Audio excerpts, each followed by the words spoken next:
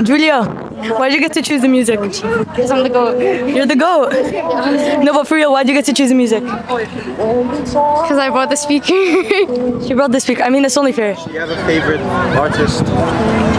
Polo G. or Drake. Polo G or Drake?